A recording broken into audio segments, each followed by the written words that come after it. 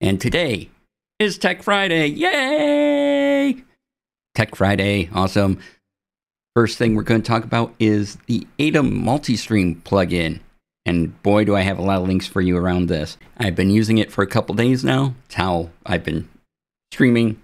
Now, Aitum makes a bot called Aitum. Kind of competes with StreamerBot in that space. But they also do Aitum Vertical. So if you want to stream vertically or record vertical streams for later uploading, you can do that. But here is their latest, the multi stream plugin. You go to their website, download the installer. The installer just goes for you. And then when you open up OBS, you'll have the option to set up a new dock, which looks something like that. Yeah. So, and if you don't see it, you can always go to Docks in your OB in your OBS menu, and there'll be one called Aitum Multi-Stream. And you'll ha- always have a built-in stream up here, and this is your default stream. Whatever you've already set up in your settings in OBS will be this first thing. Now, uh, I've had it recommended that you leave this as Twitch, and that will allow you to use the multiple audio sources for for the other things. So, to add the other things, and then by the way, this so I'm streaming both to Twitch and my YouTube horizontal as you can see. And so instead of hitting the start recording button or start streaming button in OBS, you'd go to your dock and click this button to start. You gotta start your built in stream first, and then you can start the other streams. Uh, because right now, the the way I have it set is that this stream here kind of piggybacks onto the Twitch stream here. So this needs to be on, and it goes, oh, you want me, you, you want me to use all the settings you have here to go out to YouTube. Okay, I'll do that. So to do that, you have your option to set these up. You have your options down here. You have Aitum multi-stream settings, can support, or the Aitum.tv thing. So you click this, and it puts a window way on the other side of everything. Let me go grab that. Why it doesn't come over, I don't know. There we go. Okay, so you get this window here. Let's embiggen a little. And so it'll open up. You have your main outputs, your vertical outputs. Uh, so using this, we need to start recording separately, then click these in sequence to start streaming. Clicking this replaces having to click start streaming on uh, nor- normally in OBS. So as soon as you click this, your your uh, start streaming button will light up and since I have the re- recording uh, assigned to going, it the recording will start up too. So your normal, you click this, and basically your normal startup sequence for streaming happens. So th- this kind of replaces the the start streaming and start recording button uh, buttons in, in your control settings. And then you do have to click uh, the other ones to stream to that too. So you cl- click this to start up as normal, and then you have to click this on if you want to start streaming on YouTube as well. Right now, there isn't sort of a I start streaming here, also turn on this uh, stream as well option. You, you do have to click click both these. But if you have your recording set to start as soon as you start streaming, that process will be the same as long as this is your main built-in stream. All right, now let me get that window back with the gears because it's annoying and doesn't want to stay where I put it. All right, so you click the gear, you're invited with this. Again, help if you need it. Uh, if you want to know more about Aitum, right there. So main output or main canvas. And because this these settings are all handled inside of OBS already. Your built-in stream is just your OBS default, so it doesn't give you any options around that because you set them all up in OBS when you do your settings. But for my YouTube, because I did horizontal, I clicked add output and you get this handy menu and you can select Twitch, YouTube, TikTok, Facebook, Trovo, Twitter, Kick, or another service that does RTMP, right? And then you can you can name it whatever. You probably want to keep this at the first one, and then you add your uh, YouTube stream key. If you don't know where to find it, they give you a link that will take you right to your YouTube dashboard. Let me let me turn myself off a second here. So yeah, you click add output, and then you get your video settings. So my video encoder, I've set for my main encoder. So whatever I've told Twitch to be here, whatever you tell your built-in to be, that's what main encoder means. It'll go, oh, you want me to do, uh, you know, your 1920 by 1080 at 60 frame per second using this many kilobits. This is the video you want me to send to YouTube, and that's your Twitch stuff. I understand that, and I'll just boom.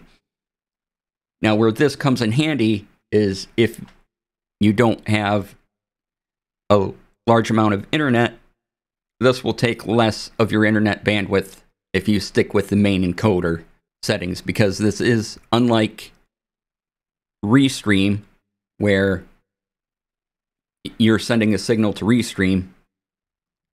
You're sending a signal to Restream and Restream is going out to all those other services uh, this is all from your machine, and so uh, how many think how many streams you can have will depend upon your internet bandwidth. Uh, but if you want to stream to two three platforms, just use the main encoder and have it piggyback, and you'll use less of your bandwidth. But if you do have bandwidth and you want to use more of it, Go back to the window here. Real easy to do. Video encoder. You choose whatever one of these you want, and then you'll get all the all the settings options for that, and it'll it'll look normal. So if I were to go to oh send this, and now I have all these options, my bitrate control, rescale, right, and now I can set all this all these options if I wanted to send a higher bitrate signal out to YouTube or out to another stream. I could if I have the bandwidth, but I don't want to do that right now. So I'll just stick with main encoder. If you have uh, NVENC here, you also should be pretty good in sending out other streams if you don't want to use your main encoder settings for whatever reason. And then in your audio settings, uh, well, always set your bitrate to three audio bitrate to 320. Just do it. Why it why it's lower, I don't know, but set this to 320. And so, as you can see, I have a couple choices here. I just do F, FFmpeg AAC, and then because my main encoder goes over my uh, audio tracks I have in OBS, I can set this to any of the six. So if I want the same track as my Twitch VOD track, I can now select that. Now, it's my understanding that you have to have your Twitch as your built in stream canvas in order to be able to separate these out like this. Um, but that could have changed in an update, something like that. But uh, because there's been two updates uh, since this has come out. But when you go to the go to download button, it, you'll always download the latest version so yeah, and then if you want to get rid of it, just click remove. Again, output settings, you can name it whatever you want. Make sure you click save output after you input your key. And then you can do the same for vertical canvas and all of that. And if you want to know about audio tracks in OBS and making multiple, I, I happen to have a video on that it's amazing. It's almost like I, I planned this. So go there and find out all about the audio tracks that you can use in OBS. What the hell means. It's a, another Tech Friday. It'll be spectacular watch because I made it. So of course it's spectacular. Why wouldn't it be? All right. So if you have any questions on this, that's fine. Again, this is just a dock. You can set this anywhere in your OBS menu. I'm going to now go place it in its spot, in its normal spot. And if you want more information on these, I have three videos for you. three other links. It, I'm I'm feature oops, I'm feature rich today. Uh, so it's by a creator called Nutty, and he's made two videos on this. So there's the first one. Nutty's second video comparing uh, Restream versus Aitum. So that's right here. And then fellow by the name of Andi Lippi also made a video, and that's right here. I will also put these in the YouTube description. And oh, who do we have today that said hello? We have Chris, JD Lady, Urban Bohemian, yay! Full Rubber Ducky. That's here, JD and Chaotic Wholesome presents. Hello, everybody. Welcome on in. Good to see you. So that is the Aitum vertical plugin. Let me double check my notes, make sure that's all I wanted to say about that. If you have any questions about that, please put them in the chat. It's going to be the way to multi-stream, I believe, in OBS going forward. Next, Stream Deck app for Android. Yes, please. Stream Deck app has been upgraded, upgraded and updated so that it matches what you can do on iOS. So now if you have an iOS device or an Android device, you can do the same things and have a remote Stream Deck with you. Now you can title it whatever you want. I named mine Android because you know there's for my iPad Air, there's my other Stream Decks, and my Android. And you can see I just set up the buttons. So you're going to be downloading this software onto your PC or Mac first. And then you download the software on your Android.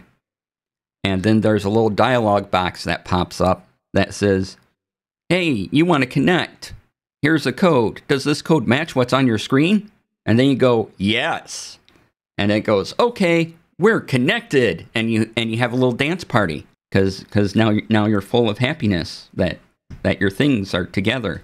And so it works like any other Stream Deck thing. You set set up the but the buttons here, what you want them to do. And now I have Stream Deck on my phone and Spotify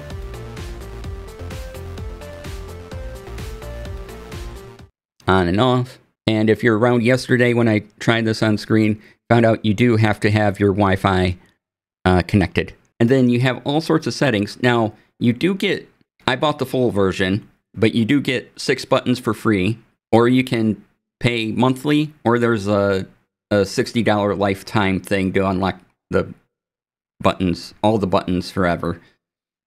Uh, so you get to decide how you want to experience this, but the settings Click the little cog, and you get all those fine settings there. Don't focus on me. Stop focusing on me. Uh, layout, orientation, appearance, faceplate. So right now I have 5 by 3 but as you can see, there are different numbered orientations there. All the way at the bottom, 8 by 8 And if you want to set them individually, there's this option down here with the with the plus and minuses. So if you want two by eight or whatever, you can do that. And then once I go home, that's 64 buttons. Uh, kind of tiny, but uh, if you had a tablet or something, you know, they would expand out. So if you need more buttons on your screen, or you know, I could also turn it this way and oops, wrong, wrong turning. There we go. And I could use it horizontal or vertical. So you and you can lock the orientation. That's what the just flipped again. So orientation dynamic means when you flip your phone, it will change orientation as you rotate your phone, or you can just set it in one orientation. Have an appearance. You can have virtual face plates. You can even make your own. So there's a selection of virtual face plates there that aren't showing up too well, but I'll select one there and a face plate. Ta-da! So you can you can even add your own graphic to it if you want to personalize it more. And appearance, You can have it follow your system settings, light mode, and a dark mode. Ooh, dark mode. And I'm not going to put all of my Stream Deck buttons on here. Just just ones I need as as I walk around and do things. So when I do my Gunpla streams, I I have I have my Stream Deck and I don't have to come back over here anymore. I can just hit the hit the buttons I need on here. Extremely handy. I of course love it because it's a Stream Deck and it's very easy to set up and they talk to each other. It's it's like a little bit of magic in in in your phone, your magic phone. Can one of the free buttons be a folder? It can. So you can potentially have more than six free buttons if you made a folder and then another folder in that one. Yeah, you can. Yeah. So they do let you create create uh, subfolders in the free version, so you can have ideally more than six buttons. And now that's available for Android. Yay! I see the scheming, right? that that you get six buttons for free is incredible. So definitely check it out. Again, Stream Deck is one of my favorite things ever. That's why I have three of them, and well, four, no, five, because I have the iOS version as well. So I have the Android, the iOS version, and the three physical ones. That that's a lot of Stream Decks, but you know they're they're Stream Decks. They're beautiful.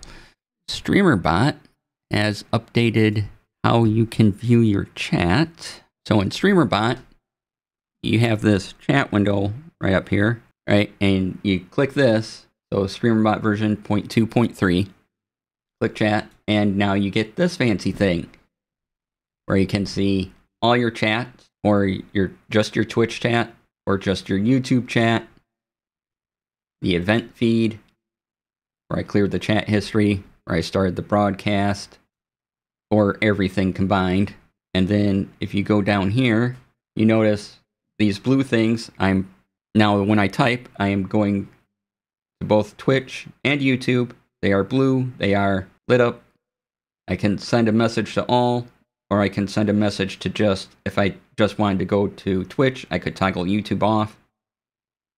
Select there. And then you have these handy menus like your command palette, you can execute an action, search for people. Do commands work through that window now? Uh, so you would go through, you would either put the command on, say, a Stream Deck and, and hit the button on the Stream Deck, and that would work. Or you'd go execute action and say, I want my website to come up. I'd go to the exclamation mark DC, and as soon as I hit it, now that command goes through. Can filter your events. So you just want to Twitch events. Uh, so you just can't, not with, no, because if I do exclamation mark DC in the chat window right over here, as you can see, it just does that. Can't use it for straight text pass through. Yeah, no. I, I would I would like it if you could, but for some reason you can't. So then that's when I go over to the you know I have the Twitch chat window open or I have Casterlabs open, and I you know type type them in there, or I set up a button that executes the command on my on my Stream Deck, and then it'll just activate the command. I don't have to worry about typing it in chat or clicking these things to get the button to go. Uh, you do have settings, so font family, font size. These were here before. Dark mode. Here's where you can set the tab tab chat for your timestamps. You can even see the seconds if you want. You can alternate the background color of every other message. You can invert the chat direction. Quick actions are handy. I uh, got message quick actions. So if I want to give a shout out to someone, and you can set these to be whatever action you want out of your commands. And then if you, let's see, I believe it, like if I went over chaotic wholesome presents here, I click the button, I get to see all this stuff, right? And then if I go over here, notice I have this little one right here. And that's the action I just showed off. I click that, and it should execute uh, that if that was working, but apparently it is not. But I'll, I'll give you a shout out in a second here. So if I had it set up right, it would, you know, it would do the thing for me. Yeah, so if, if you have them set properly, you can set your quick actions over here. And then you can reply, you can copy the message, more, and ignore, highlight, delete the message, Twitch viewer card, which you you do you click Twitch viewer card. This opens a new tab in your browser. It shows me what that person has for a banner when they created their account, when they've been following me, and you know their badges, whisper, gift sub, invite, ban, timeout, that that thing, and then it gives me their chat history as well in a whole new browser tab. Yeah, so that's the update to StreamerBot chat. I do wish I could exclamation mark here, but I'll just make buttons because I do like the separation of chats and some of the other options in in uh, this one. So this will probably be my my default chat thing. Maps D&D Beyond. Uh, this is still an alpha feature, but they've been adding things to it, and the latest one is for when you're doing spells that cover a sphere or a cone or a line or a cube. There's now a way to represent that in the maps. So I've already selected a map. This is the basic map stuff. You go over here. Now you have this overlays where you can hit the O key and you get overlays. Yay. You know, cube, sphere, cone, line. You can give it whatever color you want. And then say I'm doing a cone spell. I click it. I go, okay, my cone starts here and starts at me and it goes out to 30 feet. So bam, now I have on the map where that cone is. I can change its color still. I can hide it if you're the DM. Can choose a pattern. So if this is a lightning spell or a thunder thing or necrotic damage or poison, you know, you can have little potions come in if you want or back to none. And when you want it removed, you just click delete. I, ha- I have an effect that doesn't start on me, starts say over here, and then you can also move it around. And then if you ever need to measure out, you can activate the ruler, go. Okay, so this sphere effect happens 30 feet from me, which is right here-ish. Or you could also just use the, the line, you know, 30 feet, yay, that's where the, my sphere starts. And then I can go to my sphere and go, okay, this square here, where it begins, and it extends out. You know, it covers 20 feet, you know, and it starts there. And so it cover all these people, right? And it's poison. Yeah. I, I made a I made a circle of poison. Yeah, so that that's the new stuff in D&D Beyond. All right, I will see you all then. Have a great evening and a good weekend.